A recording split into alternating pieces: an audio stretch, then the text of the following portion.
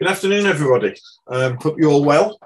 Um, so, um, prior to Nigel's um, piece on uh, spatial ecology and COVID 19, um, which uses census data, I'm going to give you a very quick uh, whistle stop tour of uh, UK census data. Um, I'm the, uh, the head of the uh, aggregate data unit uh, within the UK Data Service and I've been involved with census data since 1995, so quite a long time. Um, I I did a placement um, year from university, uh, the University of Manchester in the uh, in the computing centre, and, and then I'm glad to say that they, they took me back on, and, and I've been working on census data ever since. Um, so, if we could have the next slide, please. So we're going to start with a quick quiz. Um, so in 2011, how many people in England and Wales identified their religion as Jedi? And if we get the next slide we should have a, a way of recording this. So if you go to www.menti.com, uh, use the code 48684600, we should, we should get some answers.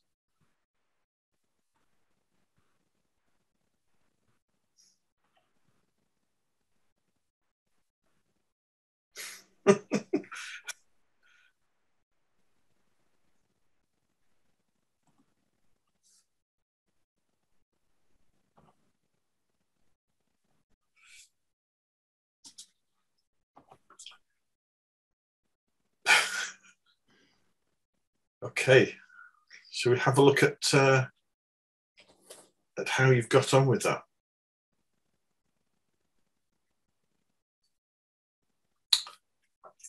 So census data is it's it's classic aggregate data. It's counts of things, people, um, aggregated to a uh, a geography.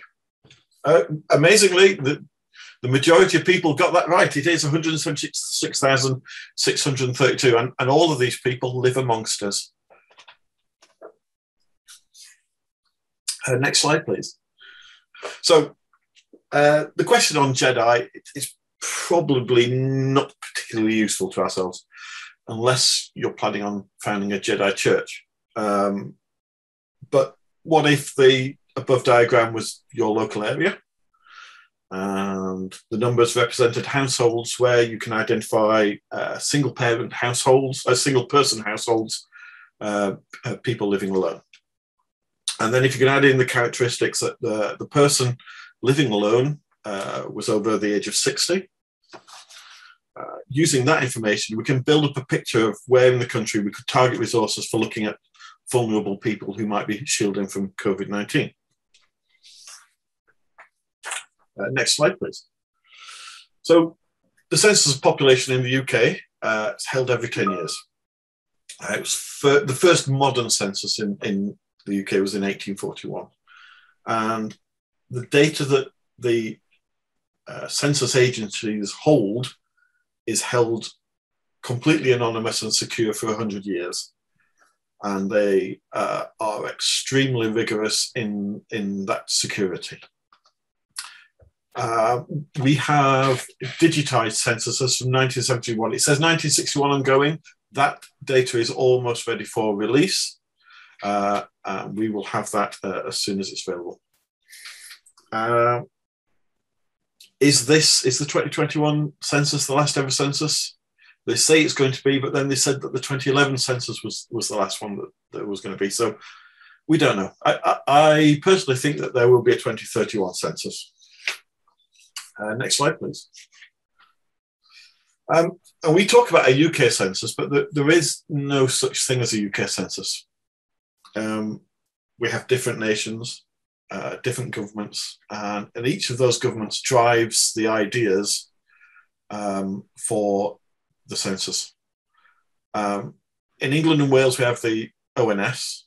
Um, in Scotland, we have NRS, and in Northern Ireland, we have NISRA.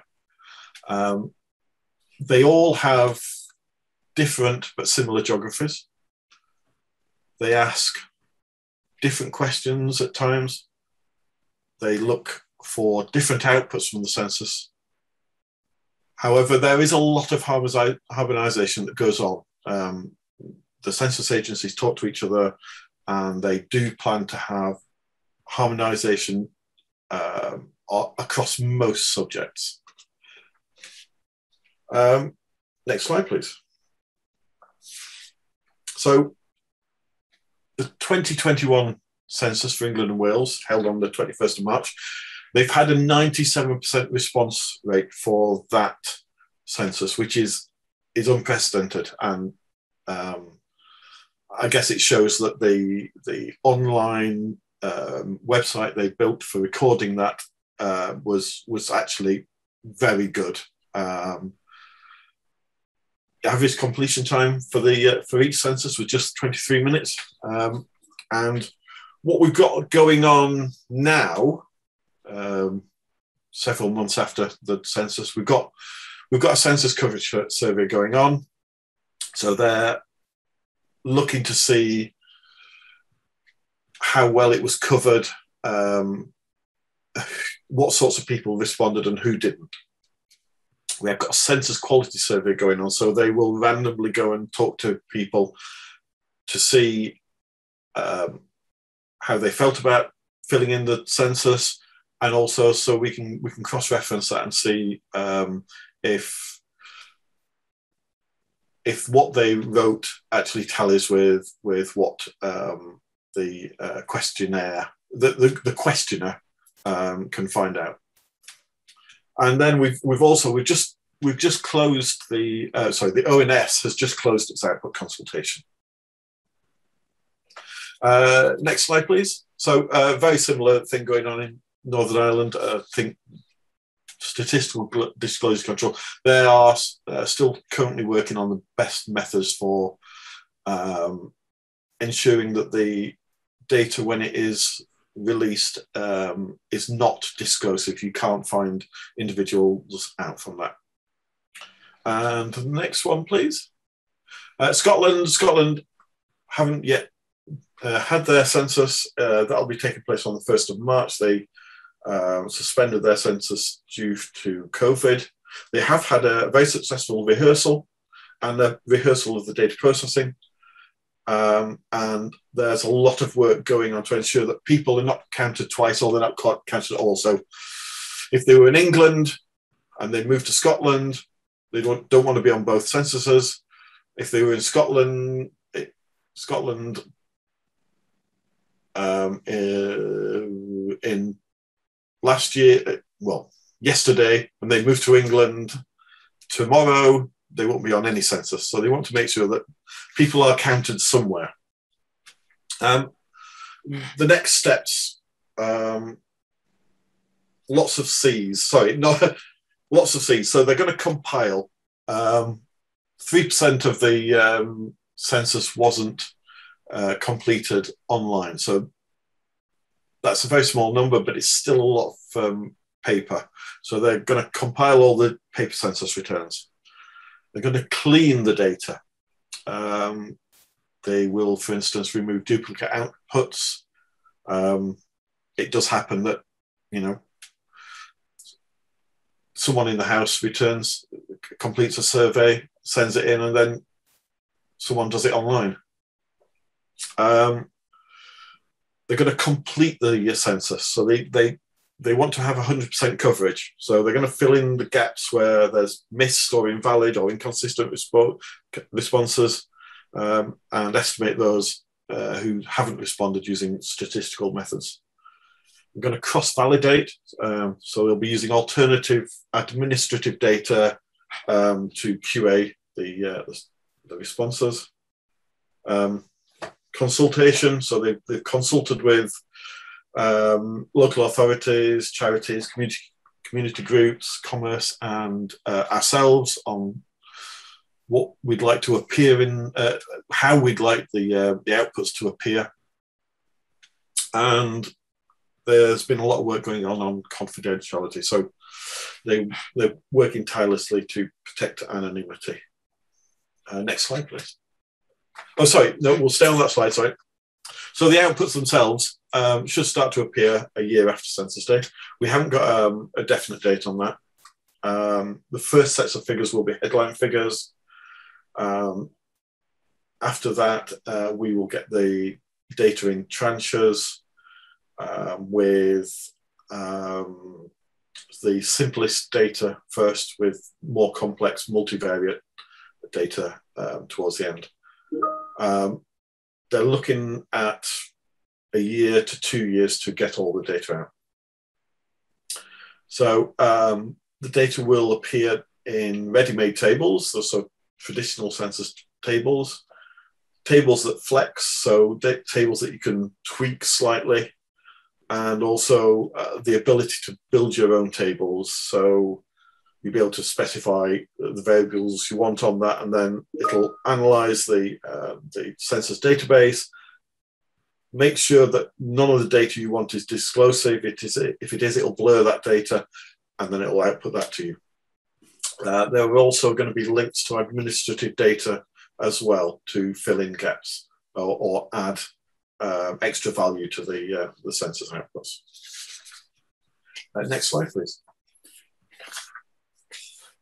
So what can, what can census data tell us? All sorts.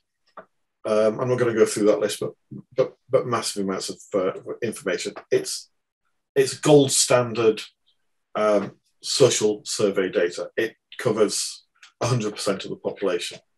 Um, no other social survey comes even close to that. Um, it's for a single point in time. Um, so it starts out extremely useful. After 10 years, you've got to start to, do, to think about how, how um, populations and lives have changed. Um, those categories uh, of census data, they can be broken down into subclasses. Uh, they can be uh, mixed with other topics. Um, and um, it comes in a number, we, we have a number of different census products. So we have the aggregate data. We've got geographical boundary data so we can make maps. We've got flow data so we can look at where, how people travel to work and where they travel to work and we can look at um, how people are migrating within the UK and um, from the UK to abroad and vice versa. Uh, we've got micro data as well, so we can start to look at um, individuals and anonymized in individuals as well. And then we've got some de derived data as well. So we've got some uh, deprivation data as well, for instance, and spatiotemporal data. So things like uh, in the past we've had POP 24/7, which has looked at daytime and nighttime populations. Uh, next slide, please. So in 2021, the, the census changed. It, it, changes every time we do it. But um, in 2021, we've got new questions on gender. Um, Northern Ireland didn't ask the gender question. Um, so we, this is um, a voluntary question uh, about how you identify your, your own gender as opposed to the sex that was registered at birth. Um, next slide, please. We had a question on sexuality in all the nations. Uh, again, uh, a voluntary question. Um, and um, that was four categories, straight, heterosexual, gay, lesbian, bisexual, or another writing um, sexual orientation. Uh, next slide, please. Uh, in England, Wales, and Scotland, we had a question on veteran status. Uh, status. So this is people who were in the armed forces but are no longer there. Um, there are separate uh, questions on, on for armed forces personnel. Um, this wasn't asked in Northern Ireland uh, because uh, it's uh, it, it's still a um, a sensitive topic. Next slide, please. Um, we got a new question on health conditions in Scotland and in Northern Ireland. Um, so in England and Wales, they just asked, "Are you? Um, do you have a long-term limiting illness?" and left it at that.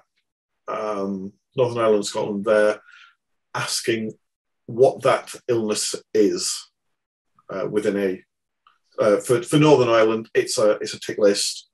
Um, in Scotland, um, that's a writing. So that might be very telling with long COVID, for instance. Um, so we'll, um, we look forward to seeing the, uh, the results from that. Uh, next slide, please. Um, what the census can't tell us is there's, there's no information on wealth, income. There's, so we derive, uh, derive our deprivation data using uh, information like uh, overcrowding, um, access to um, cars and vans, um, and um, socioeconomic grouping. Um, there's no uh, personal identification. Uh, they use data blurring and obfuscation to make sure that hopefully individuals cannot, well, as far as I know, no individual has ever been identified from um, census outputs. So in theory, if you're a hitman and your target is of Chinese origin, living in Belfast, but following the Sikh religion, it might be possible that you are the only person in your particular area. So what they will do is they will add a random number to that, one, two, or three. And they might also swap your records with another similar type of uh, output area. Uh, next slide, please. Um, census geography in this country is a little bit of a mess. In fact, geography in this country is a little bit of a mess. Um, because we have four different nations and four different governments, we have four different sets of geographies. Um, they all share the same building block, which is the output area, which is about, in England and Wales, it's about 125 households. Um, however, in Scotland, it's about 50 households, so there is some difference there from the output area. Oh, the output areas are built after the census has been taken because the, they are socioeconomically heterogeneous, so uh, sorry. So they're designed to have a similar population. They're also designed to be uh, to not spill over obvious um, geographical um, impediments, so motorways, for instance, um, rivers, etc. Um, they are aligned, uh, aligned to local authority boundaries, so um, they don't split over. You know, they don't split over into different um, local authority areas. From the output, from the output area, we we create a set of geographies called super output areas, um, lower super output or middle super output areas in England and Wales, um, data zones and intermediate geographies in Scotland and um, in Northern Ireland, they just have lower super output areas. Um, these geographies are supposed to be little changing over the years so that you can use them for comparison with um, older censuses. None of those geographies particularly relate to anything real no one no one gives their output area as their address. No one sends their um, their local taxes to a, a data zone. Um, so we also have on top of those we have real geographies of regions, counties, local authorities, wards, and electoral divisions, which have different names in all of the different um, nations. So there are no regions and counties and local authorities in Scotland. They have council areas. There is no postcode geography in the census outputs. There is an interface that we've created for um, matching and converting between geographies, and that is uh, called GeoConvert. Uh, the address is there. I think we might talk a bit about that later. Okay, next slide, please. Um, so the boundary data, the, ba the data that, that we can use to create maps, um, we have all that um, at um, the uh, place called UK Borders uh, at Edinburgh, which is part of the UK Data Service. Uh, we've got data all the way back to 1981 in MapInfo, Shapefile, KML, CSV, all the all the um, most used um, mapping for, uh, formats. Um, one of our older interfaces, CASWeb, actually has 2001 and 1991 data and boundaries bundled together. So if you if you get data out of there, you can actually have it in a mapping format all, all together, and you don't have to do the work of joining your map and data together. Uh, next slide, please.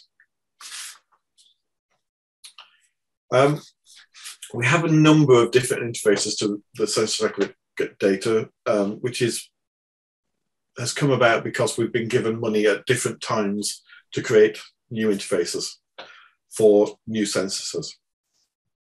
Infuse for data from 2001 to 2011, and that includes um, a combined UK um, data set. CASWeb for older data um, census data. And CKAN, it's currently only 2011, but we are loading 2001 into it um, at the moment that's for bulk downloads of whole tables for whole nations, geographies, or uh, whatever you want. If you, that's what, if you're doing bulk uh, analysis. Um, next slide, please. So, um, deprivation data. There aren't any questions on income or wealth. So we we use data from room occupancy, home ownership, tenancy, car availability, uh, employment status, etc., uh, to create a number of recipes. Carstairs, Townsend, and the IMD, I, IOD. Um, they, they all use slightly different recipes for, for creating these, uh, these indices. Um, we have all that within uh, GeoConvert. So you can add you can add deprivation data to um, your uh, census data if you wish, or you can add it to you can add it to um, postcode geography as well. Um, I think that's all I've got to say about deprivation data. Yeah. Okay. Uh, if you want to match geographies, so um, it, tends to be that if you're taking social survey data, you or or you're asking questionnaires of people, you're asking for postcodes. If you then want to match postcodes to census geographies, we have a tool called GeoConvert, um, which uses um, Royal Mail address points within geographies to um, calculate uh, an area population, and we then proportion those uh, that up, up to um, larger geographies. Um, you have to think about what you're attempting to do.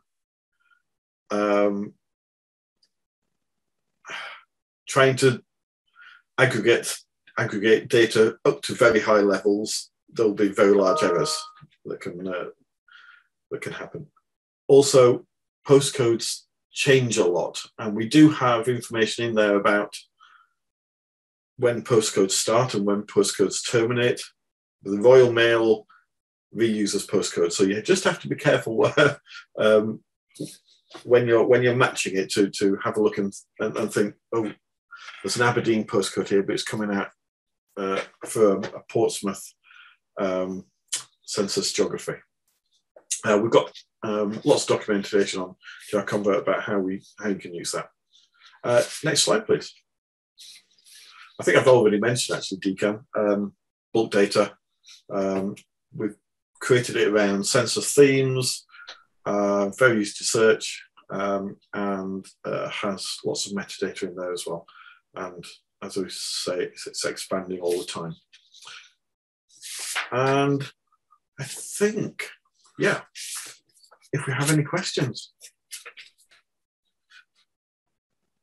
So um, what we're going to move on to is um,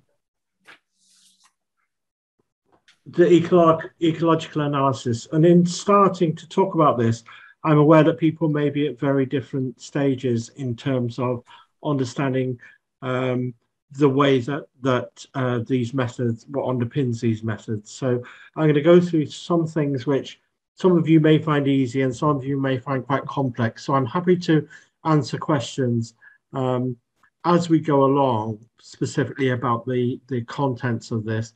Um, but there'll be an opportunity at the end to wrap up as well. So if I don't get to your question um, during the session, we'll we'll cover it at the end of explaining this before we get into the practical work. So first of all, um, spatial data is a particular form of data and it, it has, um, when you look at the files you've got, you have a number of different elements of those files. Um, so I'm just going to talk about the key things. So the first is the projection. Um, the second is shape, and then the kind of data we attach to places. So first of all, the, the challenge we have is we're taking something round, the Earth, and translating it into something flat. And what that means is, depending on where you look at it from, look at the Earth from, you get very different pictures. So we tend to look at maps of Norway um, from above somewhere around the equator. So Norway looks quite small, but if we move around our point of view, uh, to above Norway, it would suddenly become quite, it would become much larger. So the projection system is one where um, we derive our view and the data we're using, um, the spatial data we're using, derives that view from something generated by ONS, um, which uh, allows us to see the UK uh, more or less from above it when we map it. The second thing um, that's there is our shape files, which um, are the way that we create boundaries on, on a map. So um, in effect, it's a series of dots and we go through joining up those dots to create spatial areas. And then the final thing I'm going to cover is data types. So an areal unit is a, is a polygon, a shape, and um, they're given codes and names within data. So when you download data from census aggregate data, you will have codes that attach it to a particular geography. So in this example, we're looking at lower layer super output areas. We've got some data attached to them. Um, and when we create a shapefile, we can attach to that the values associated with each areal unit. Um, the second type of data is point data, and this is used to generate points on a map. So um, the two examples there are actually uh, tram stops in North Manchester.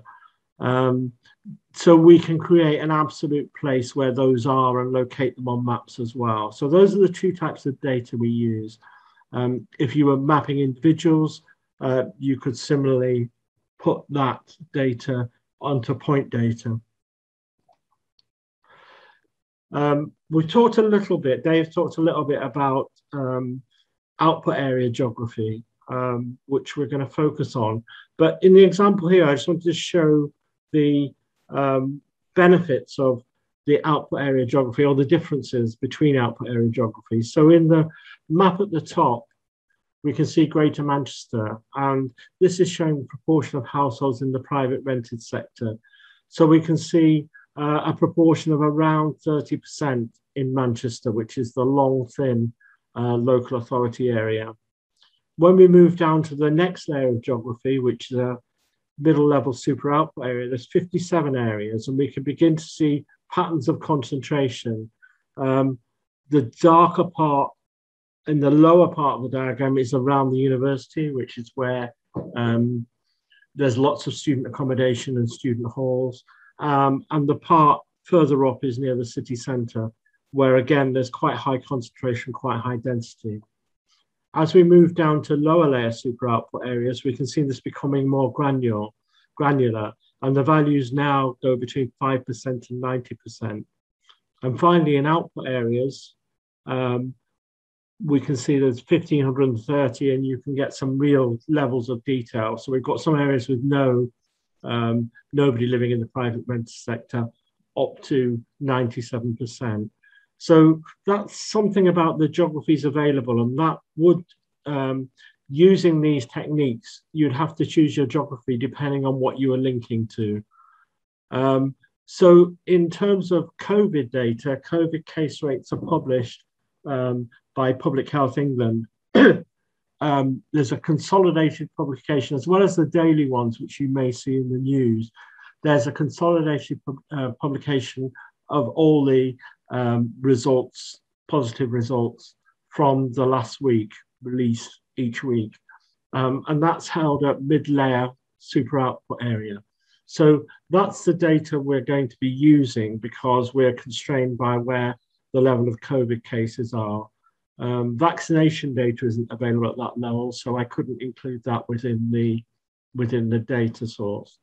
Um, and we're using Greater Manchester um, to. You could cover this across England, across um, across a region, etc. But Greater Manchester seems like about a reasonable size to to give an example of how to use this data.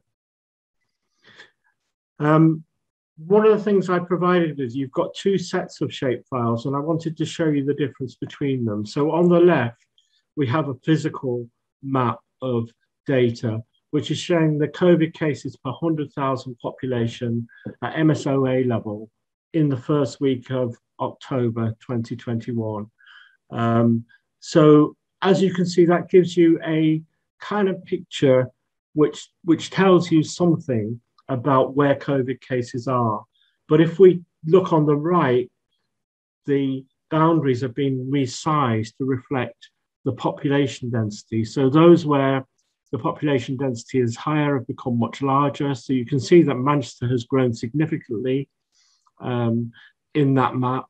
Um, and that some of the outer areas have shrunk quite a lot.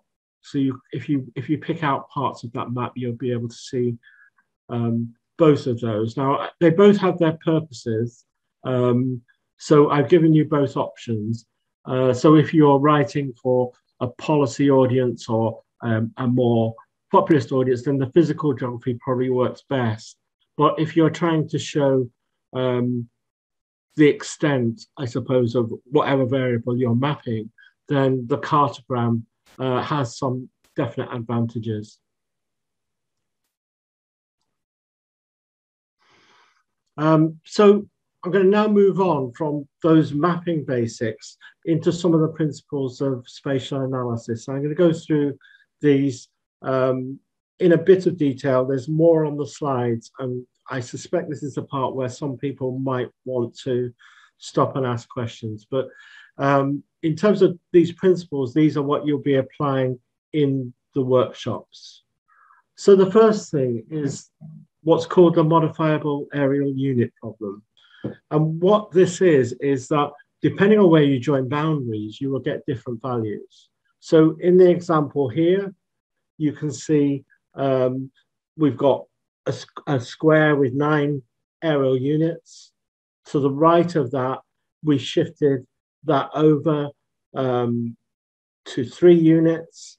Um, below that, we've got a different set of boundaries and the final option is another set of boundaries. And if we look at what that creates, the red dots are showing where there's what look like um, errors between the, the spaces. So in terms of the boundaries, you're seeing quite different results. This particularly happens. Um, I suppose this, this randomness is one of the things that output areas were designed to try and overcome in terms of grouping areas of similar characteristics. But one note of caution here is, though that's true of the output area, it's not true of those things that are built together because those are built uh, contiguously. So um, we may well introduce area error by going up from output area to lower layer, lower layer and mid layer super output areas. So that's what's called the modifiable areal unit problem. It's something we you might need to consider when looking at any analysis that uses spatial techniques.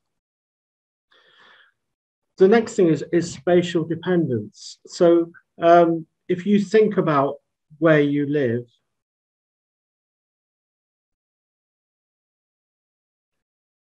um, sorry, I'll just answer Paul's question here, which is asking if, is it correct to assume that any physical representation of a place is at least slightly distorted? Yes, that's true. Um, just by the perspective that's taken on it. Um, so we can get close to representations we think are okay, but the representation we use for Greater Manchester is not taken from above Greater Manchester, it's a kind of UK wide one. So spatial dependence is where there's a relationship between things. And I suppose if you think about the towns or cities or uh, villages or countryside you live in, um, you would probably think of certain places as having characteristics that were similar. So um, if you know Manchester, you would know that there are different parts of Manchester, and some are regarded as affluent, not many of them.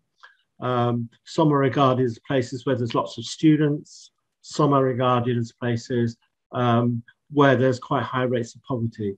And what that suggests is that within those areas, there is a kind of clustering effect. So that's what spatial dependence is. So if places around you are like the place you're in, then there is a level of spatial dependence. Um, the second kind of concept is heterogeneity. So this is something I think that geographers in London and people doing spatial analysis in London find quite a lot that what you, you're seeing is very different areas, very close together. Um, so it's it's a kind of issue that will affect um, any calculations you do.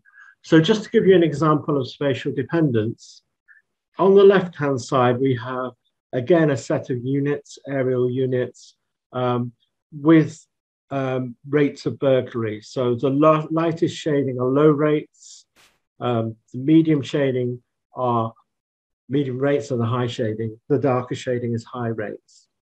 Um, but if we look at income per household, we might expect there to be some correlation. So if you look at number six, then there are high rates of burglary and income per household is high. Um, so why isn't that happening in number 16?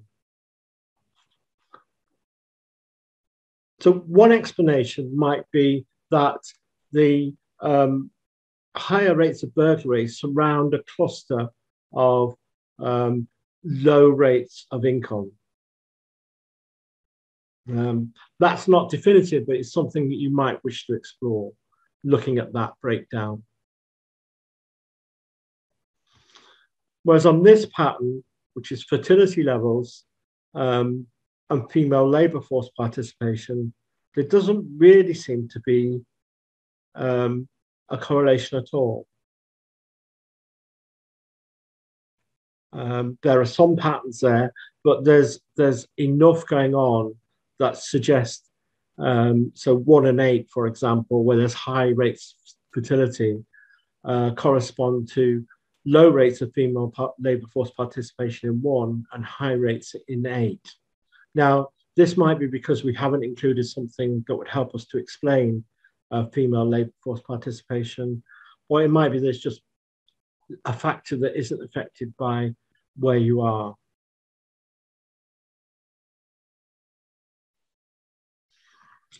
So moving on from there, what we try and detect is whether there's autocorrelation.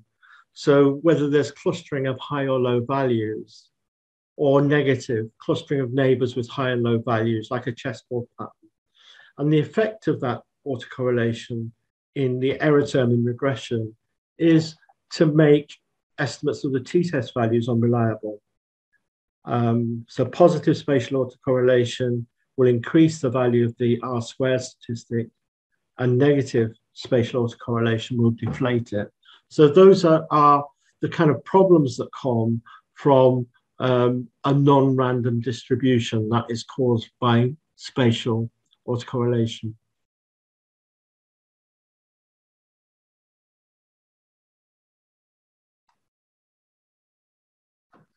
So in order to kind of work out whether there is spatial autocorrelation, we need to generate some kind of value for a, an area, an areal unit, and its neighbors. And there are different ways of doing this. So um, one is based on areas that are next to each other, so contiguity. Um, one is based on distance. So you take the centroids of the polygons, the shapes, and calculate a distance. So if you say within 10 miles of this space, of this shape, then all of the um, units will be regarded as neighbors. And there's a set of kind of work throughs that go through that, that detect which neighbor, uh, which areal unit should have which particular neighbor. Or you can limit the number of nearest neighbors. Um, now, I think just to say here, I tended, I've, I've used this technique for a number of years. I tend not to use distance because it, it does um, cause issues with more densely populated areas. So I tend to use contiguity, and for the workshop, we will use a contiguity measure.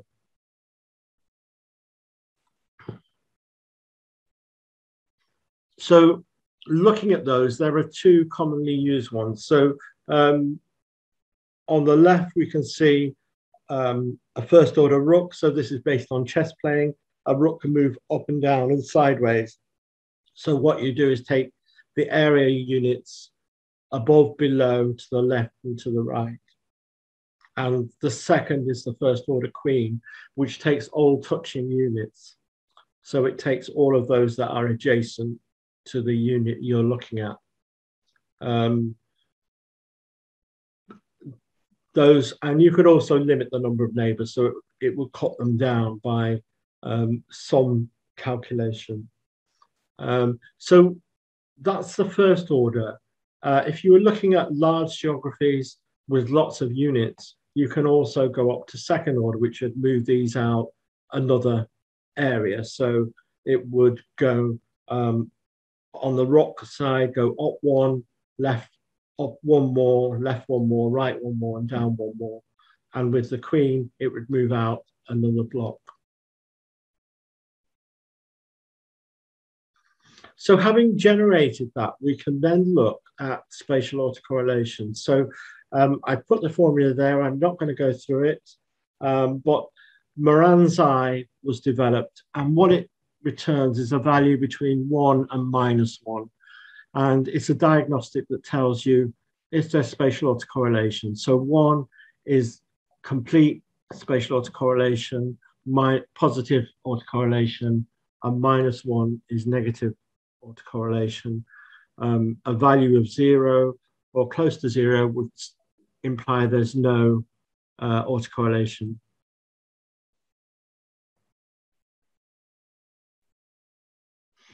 And what we get is a plot. So in effect, what this plot is doing is taking that value for the areal unit um, and the average value for the weighted areas. So in the um, in this example, this is a Queen's contiguity first level weighting. So it's taking the average or the mean of the variable across those units and then plotting them against each other. So what this is suggesting is that similar places um, are grouped together. So the, the direction is um, a positive uh, space, suggesting positive spatial autocorrelation.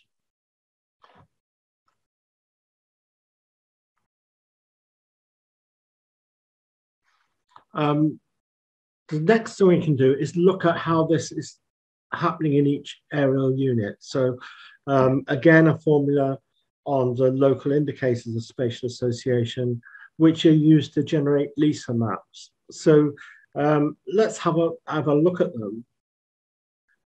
So what this is showing is an, on the left-hand side is a map of areas.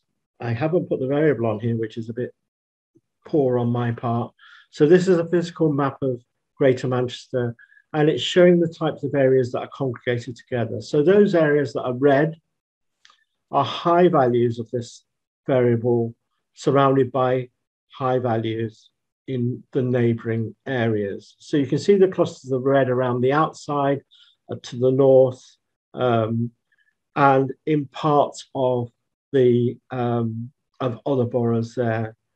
And the blue is low surrounded by low. So this is where there are low values of the indicator um, surrounded by them. I think this was an indicator I generated for a training program, which was based on hardworking, a hardworking index. So there are a few light, light blue areas, which is low value, low values surrounded by high values. And there's a few pink ones, which are high values surrounded by low values. So that's the map on the le left, the LISA map. Quite commonly, that's produced with an indicator of statistical significance. So the darker the green shading, um, the more stati statistically significant uh, the values are. Um, these can be generated, they're quite often published together, and the colors are um, a kind of convention that is used in producing and talking about these maps. So when we move on from there to multivariate analysis, we have a basic linear regression model, which is a constant um, coefficients for each of the variables selected and an error term. Um, when we think about spatial autocorrelation, we think that that error term may vary between the spatial units. So in the example here, um, survival probabilities in the event of a heart attack are likely to depend on the distance to the hospital. Um, we could also take into account the severity of the heart attack. Um, you could also let the intercept vary in the model.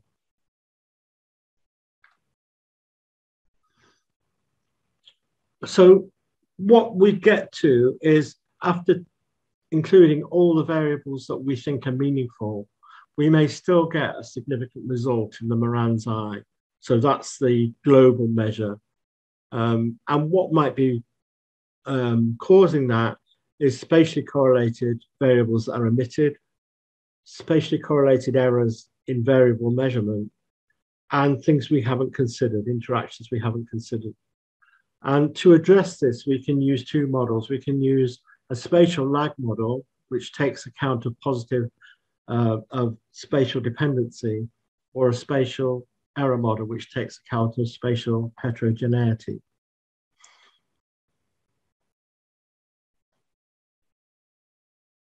So in thinking about spatial lag, we use a lag value of the dependent variable. So we take the dependent variable we're looking at and we look at the lag value, i.e. that's the mean value of that areal unit and the one surrounding it um, in the case of a Queen's order. And the result that comes out is a parameter called rho. So if you do a spatial lag regression, you'll get a parameter called rho. Um, and in terms of spatial error, um, the results are put in a, a term called lambda, and those are both estimated by maximum likelihood. Um, so in terms of deciding whether there's spatial autocorrelation, you've got some diagnostics. In deciding which approach to use, um, you can do this either through theoretical considerations or exploratory data analysis. Um, within the regression model in GeoDa, and this is available also at least in R and Stata, um, there are diagnostic tests that give the Lagrange multiplier and robust Lagrange multiplier, which identify whether there's lag and or error.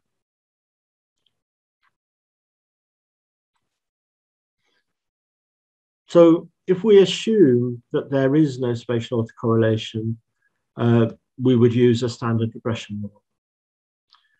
Um, so that is the process we'll go through later on. Um, we then look at the multiplier lag being significant or the error being significant.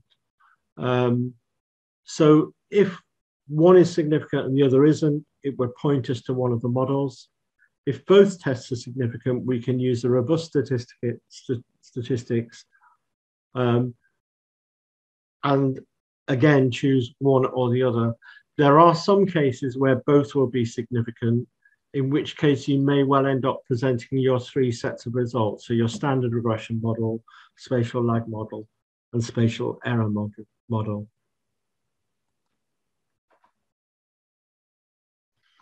So um, I'm, we're going to move on to the workshop in a bit. We're going to have some questions. Um, but what we'll be doing is using GeoDa to load the data, um, explore some of the descriptive statistics available um, within GeoDa, produce weights, and then explore the kind of clustering and sparsity using LISA maps, exploring spatial autocorrelation, and then moving on to regression. Now, a note of kind of um, caution here, I suppose in designing this workshop, was thinking that the 2021 census is going to give us some really good data to be able to explore elements of this. But in developing this, I've used the 2011 data. So quite a lot of that data may well have changed.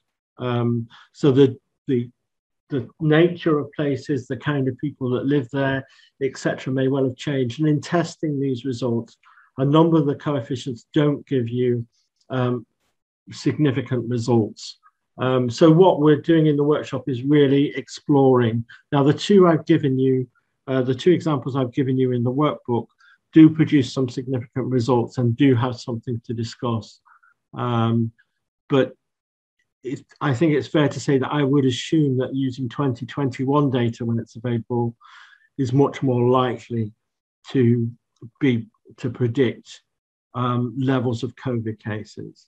The other thing to say is that, that the, the case data that we're using comes from 13 months, so from October 2020 through to October 2021.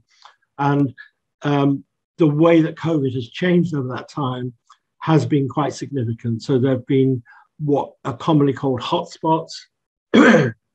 so um, I was teaching at another university in October 2020, and the areas where the students live became a particular hotspot at that time.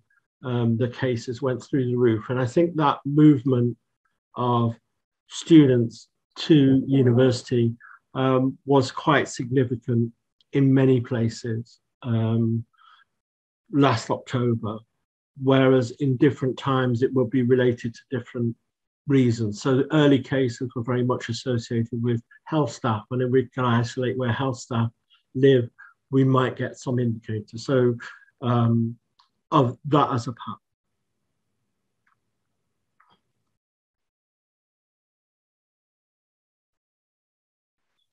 Okay, it doesn't look at this stage like we have any questions. Um, now, you're going to have to help me here and tell me if you can see the screen, because what I'm going to do next is to um, move on to quickly demonstrating GeoDa. So, um, okay, so this is the interface.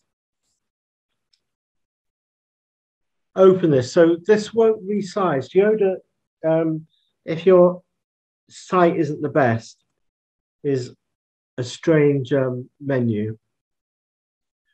But um, to start with, it has a menu across the top uh, a number of icons which relate to that menu. So the first thing I'm going to do is to open a shapefile. So I go to File, Open Shapefile, and this, the workbook that you should have access to, and we'll drop the link again in chat, um, will take you through these steps yourself. So I'm going to open the cartogram of um, the MSOAs in Greater Manchester. So you can see this is now um, a map of Greater Manchester. Um, I've just highlighted one of them. Um, so what this is doing on the left-hand side, it tells you how many units there are, 346 MSOAs. Um, and as you can see, it's a cartogram, so the areas have been leveled out in terms of size. Um, so the next thing I'm going to do is just explore some of that data. So I can go in and look for example, at a histogram, um, which will give me the frequency distribution. And it comes up with all the variables. So let's just pick um, May 21. And that shows me the distribution. So we can see that there's a few areas with quite high rates, but there's a lot with quite low rates in May 21. Um, and I can't see a map right now, Nigel. Sorry, sorry if I'm misunderstanding, but I can just see the, the menu up close. Can you see the histogram? it says histogram crate May 21, but then it's just a menu below it. Right. Okay. Um, I'll I'll go back and right now. Can you see my screen now? Yeah, I can see the map, and it's um it's a bit more zoomed out as well, which is is good. We can see the it really clearly. Okay. Um, so I'm going to have to flip between the menu and so on. So the next thing I did was then go into explore and look at histogram. And I picked the rate for May. And what that gave me was another pop-up window. And I'll enlarge that a bit. Can you see that? Yeah. Okay, so what, as I was saying, that's showing a number of areas, more than 200 with, with low numbers of cases, and just a few with quite high numbers of cases. So there's one over here with 570, I think, if I'm reading that right. Um, now I'm going to shut a couple of these windows down just to go to the next one.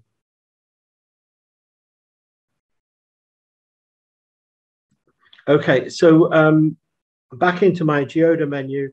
The next area of exploring um, you can look at is a box plot. So that is similar. It gives you a distribution. Um, I'll do it again for the same value. And it gives a simple box plot of one variable. So you can't put multiple variables in here, just one. So it gives you a way of exploring the data to see how it's distributed in terms of um, values. And you can see the outliers at the top. I'll close that again. You could compare two variables. So if I was to take that rate in May and compare that to um, the proportion of students, let's see if there's any relationship. And it's suggesting there's no relationship in May 21 case rates with the proportion of students in um, in an area. But if I was to do that with the October 20 case rates, the picture is quite different. So if you can see those two scatter plots, you can see in October 2020, there was an issue associated with students. Um, so those areas with high proportions of students appeared to have high levels of cases, whereas there's apparently no relationship by the time we come to May 2021.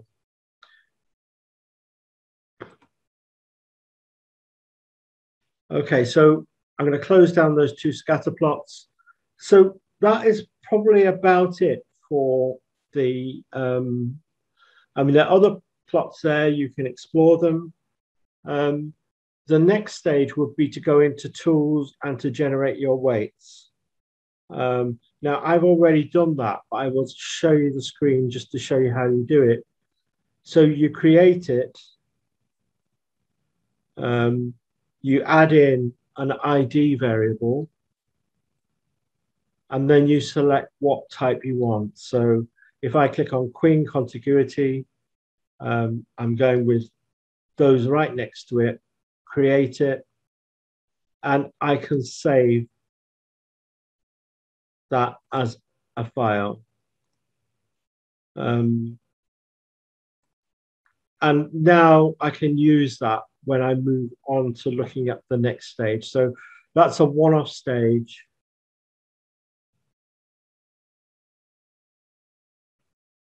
Um,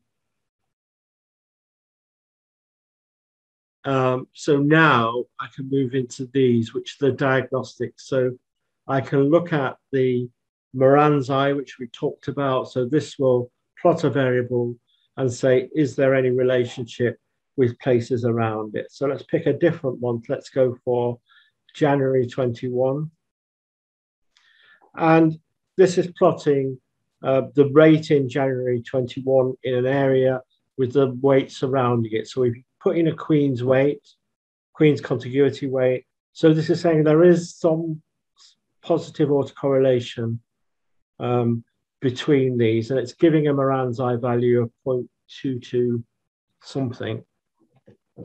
Um, so I should make that a bit bigger again. So that's plotting those variables.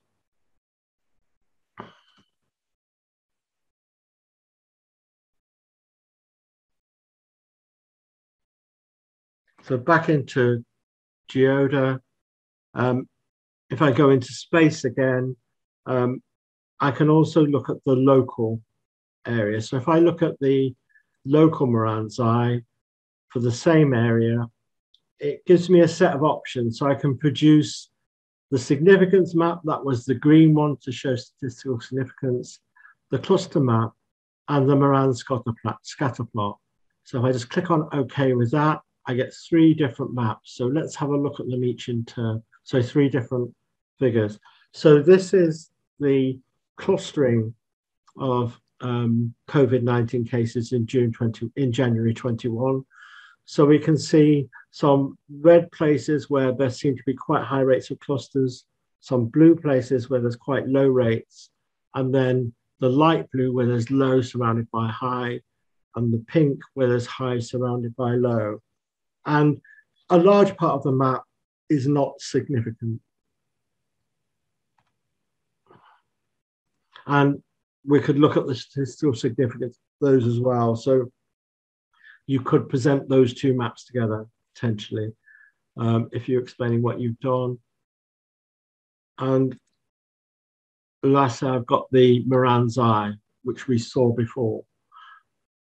So we can explore those different variables that we might think about in a model um, using those different techniques. Finally, we could look at methods and where we get here is the regression. So um, I'm going to pick a different time.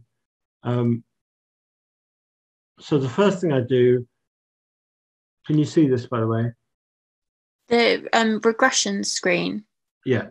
Yeah. So on the left, I pick, I've got a set of the variables. So if I pick a dependent variable of January 21, which we were just looking at, and um, I'm going to try using um, the concentration of people who work in health, education, and emergency services.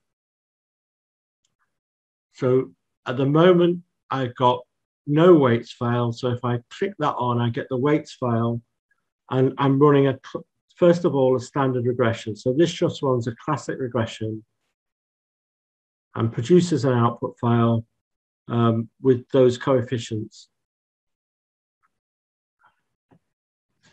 So um, this is telling me that up here, that this is not explaining an awful lot of variance, 2% um, that there's a positive effect um, for health, but it's not statistically significant. There's a negative effect for education, it's not statistically significant. And there's a negative effect for the emergency services, which is statistically significant. Now, thinking about what these coefficients mean, coefficients mean, um, what they mean is that for each unit increase in the value of um, this um, this coefficient, the effect on the COVID case rate is minus 4279 in this case. So for each percentage increase in the proportion of blue light people living in a neighborhood, um, there's a reduction of 42.7 or 42.8 in the case levels.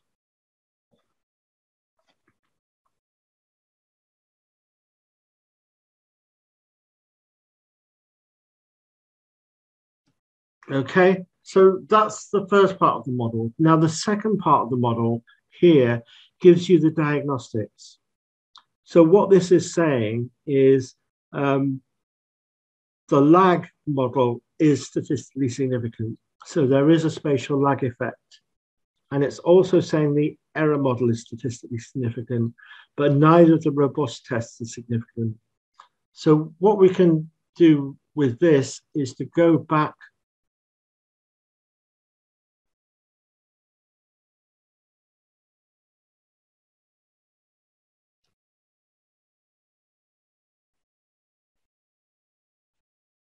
to the regression model that we've got here, and we could try the spatial lag effect and see what happens. And we get another regression report for this. Um, and if we look at the results, we've got some changes here.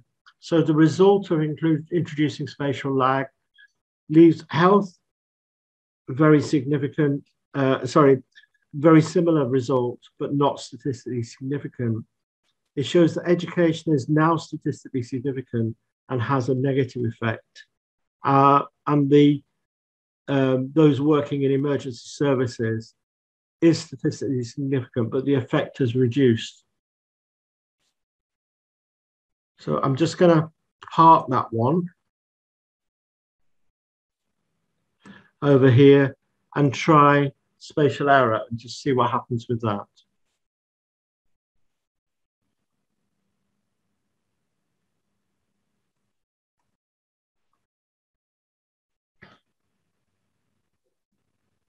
So what this has done has changed those results again, and it's given you a, a lambda effect, but it's saying the only significant effect is education, people working in education.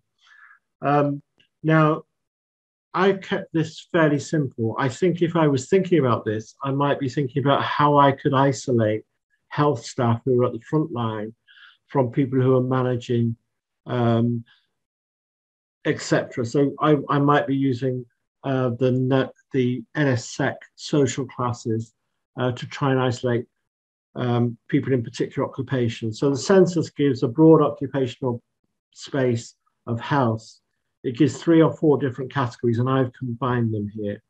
So, in effect, what I've done is run through the ways that we'll be using um, GeoDa's.